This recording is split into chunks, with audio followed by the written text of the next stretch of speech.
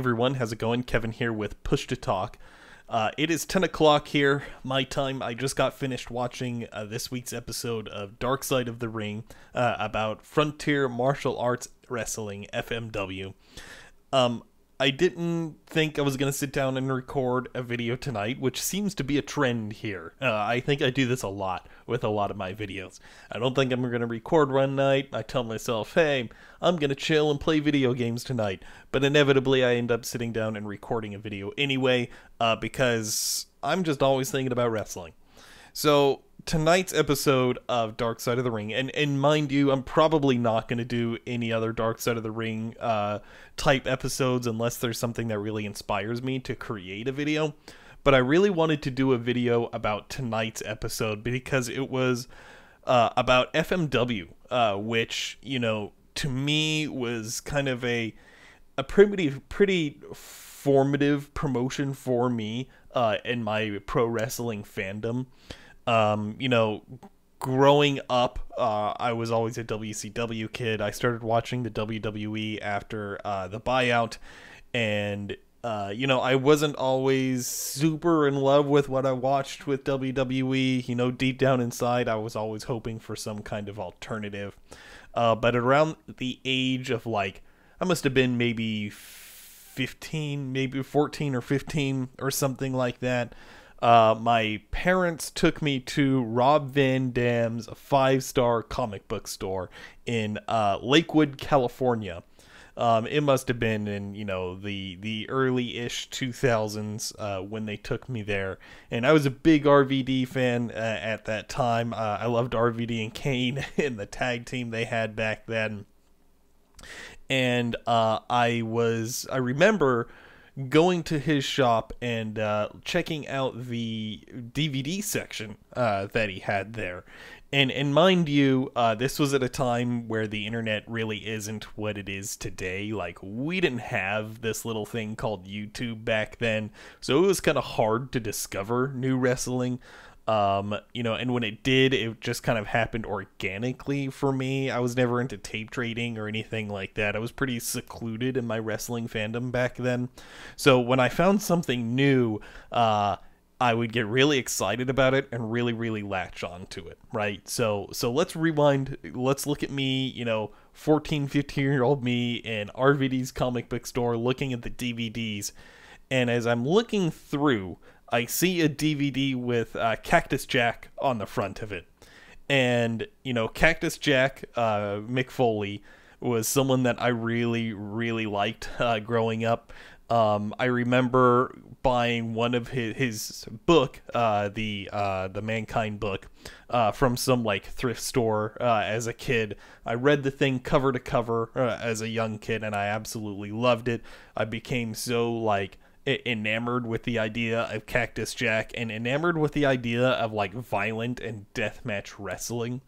Uh, my only exposure to that kind of stuff was what we would see on WWE TV at that time, uh, which, you know, granted, they could do some pretty uh, hardcore stuff back then. I mean, you know, you think of the TLC matches, uh, you think of like the. Um, some of the, th- the rare thumbtack spots they did, uh, and going back even further, you look at Foley and Hell in a Cell. You know, I had seen all of that stuff um, up until this this point, so I always had an interest in really really violent wrestling, and I really really liked Cactus Jack because of that.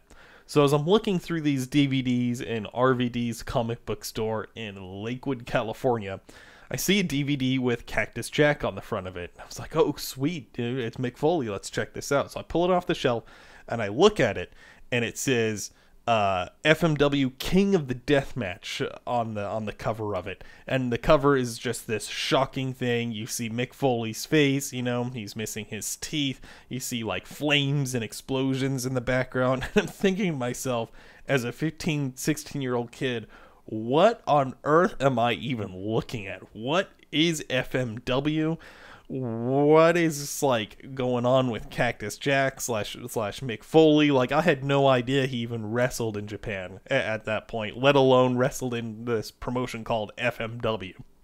So I grab the DVD, uh, I bring it over to my mom and dad. Is like, hey, can can we buy this? And them being like super awesome parents, we're just like, yeah, sure, like let's get it, let's check it out.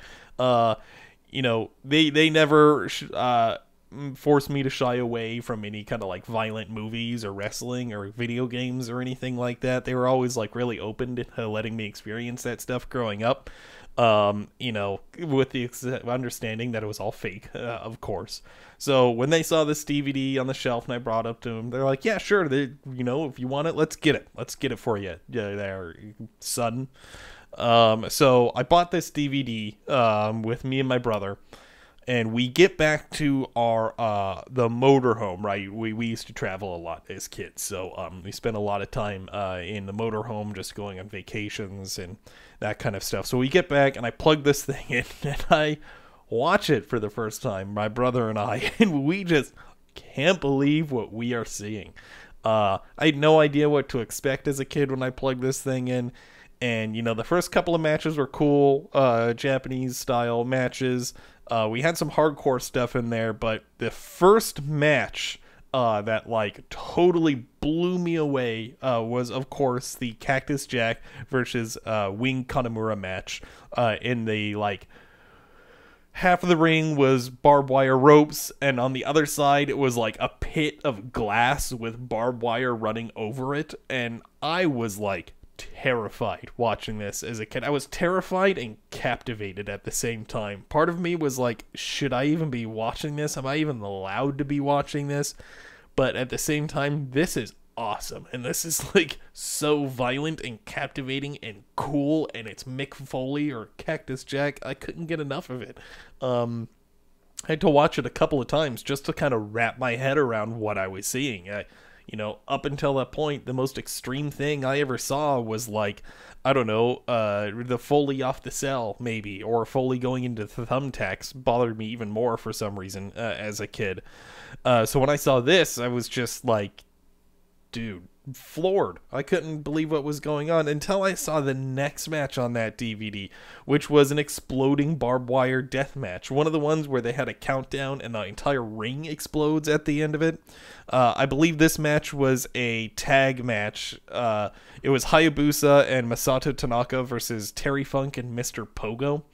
Um, and I distinctly remember in that match, like Mr. Pogo, he had his like hand scythe thing, and he's just carving in the head of uh, Tanaka, and it, I just found it so disturbing. It that just freaked me out almost more than the glass and the thumbtacks and the explosions and the barbed wire. That just freaked me out. I didn't even know how to comprehend uh, what I was seeing, but I thought it was so awesome and so so cool.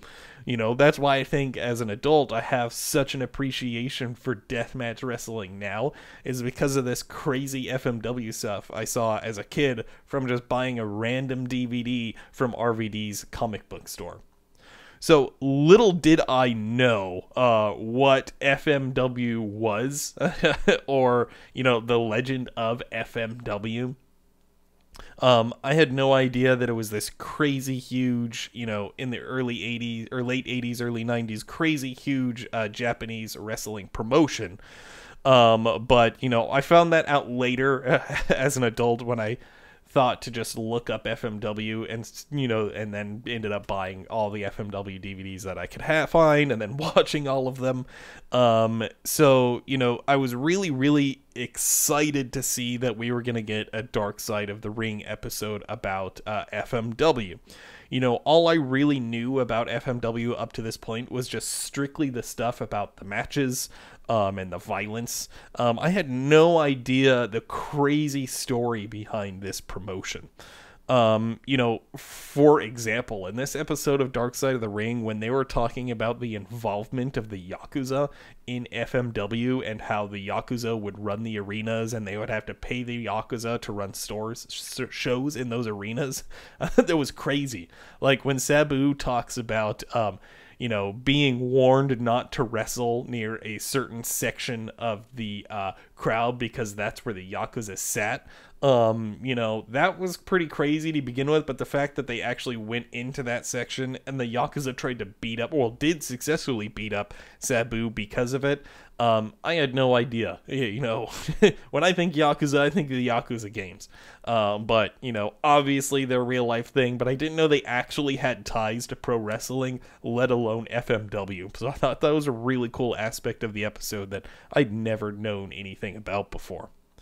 Um, another thing that I liked about that episode is when Chris Jericho is talking about the um, Onita versus Terry Funk uh, exploding barbed wire death match.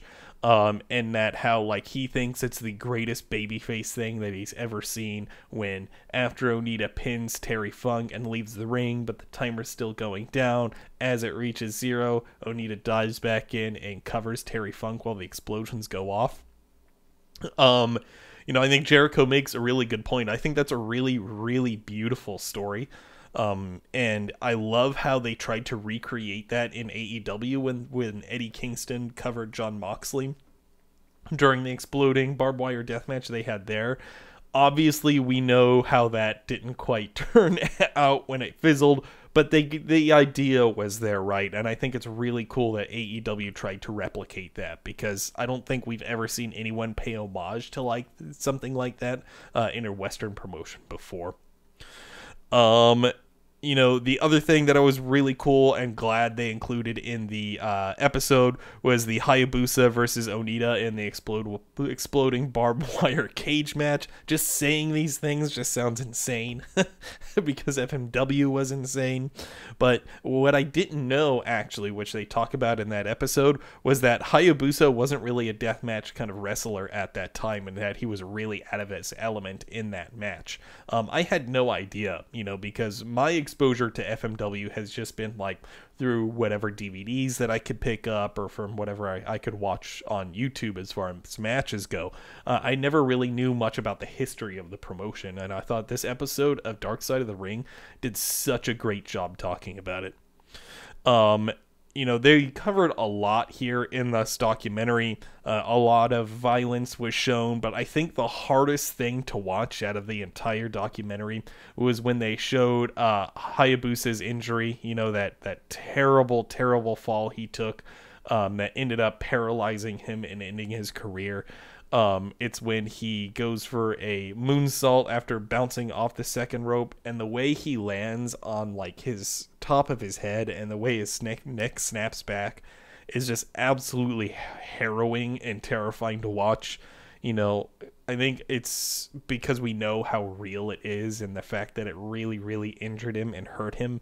Um, anytime we see injuries like that in the ring, you know, it's really, really scary to see. Um, you know, I remember being at the um, what was it called? The uh, first or one of the first New Japan shows that they ran at the Cow Palace in the San Francisco uh, in San Francisco. I remember watching Hiromu Takahashi versus Dragon Lee, and there was a botched suplex in that match. And Hiromu he landed on his head, and for anyone who follows New Japan knows it put him out for a really really long time. It put him out for over a year. That injury, he broke his neck. He fractured his neck in that match and he finished it. And I remember being in the building, and as soon as we saw that happen, you know, it was obvious that this was an accident and it wasn't supposed to happen. And the air was just sucked out of the building. All of the fun just immediately stopped right then and there. And it was just, you know, a really scary thing that I never wish on anyone to happen in the ring and I never want to see again in person and just seeing this injury from Hayabusa, you know, I'd seen it before on YouTube, but seeing it within the context of the documentary, uh, it was really hard to watch, and it really, you know, makes you realize that you know these artists, uh, these professional wrestlers, artists and athletes, or whatever you want to call them, I think they're artists. Really put their life and livelihood on the time on the line every time they step in that ring. Um, so yeah, that was that was hard to watch, but you know they obviously had to cover it in this documentary. Um, I also didn't know at all about Arai uh, taking over the promotion from Onita. Um, I guess he was the ring announcer. Uh, he has a that very distinct ring announcer voice, and sorry about the fly flying around here. Um, but uh, I had no idea about that, and it's just, just such a tragic story with what happened to him to committing suicide after taking out loans from Yakuza loan sharks, and then these Yakuza loan sharks then going after his family. It's like you can't even write this stuff. It's crazy that this exists and even happened, and it's even crazier that it exists and happened within the context of pro wrestling, right? It's just totally nuts and insane. Um, you know, and by the end of this thing, I was left thinking a lot about the uh, the sacrifices wrestlers make, uh, thinking a lot about like storytelling and how it's done in Japanese style wrestling specifically, and even more so storytelling and how it's done in deathmatch wrestling even today. And you know, I think deathmatch wrestlers get a lot of flack uh, and a lot of hate. You know, eh, saying it's just garbage wrestling or whatever. I disagree. I love deathmatch deathmatch wrestling as much as I love you know five star Tokyo Dome matches. Um, uh, but you know, watching this uh, really makes you realize like how crazy of a world pro wrestling is, how crazy FMW was just in general, and how lucky we are to have uh, promotions like AEW today paying homage to something that's relatively obscure. So I wanted to just sit down, talk a little bit about FMW today, talking about like how I discovered FMW as a kid, uh, what I think of FMW today as an adult. Um, I think I'm gonna go watch the uh, Onita versus Hayabusa uh, exploding barbed wire cage match after I finish recording this video. It's been probably a year since I've seen it. It's a great match. Uh, so much emotion, uh, you know, and that reminds me too. You know, when Jericho says that like after his matches, Onita would just cry uh, at the end of them, just like fully giving himself to the audience and how totally over that was with the audience. I think that's so incredible. You know, we don't see anything like that today at all. I kind of wish we did. You know, he was just like such an impassioned wrestler that had such a great connection with the crowd. The Hulk Hogan of death match wrestling for sure. Um, and you know, I you don't hear about him enough, uh, honestly, and it's just so cool to see this episode of FM of uh, Dark Side of the Ring about FMW, and I was happy to see Onita talking. He still just seems like so cool to this day.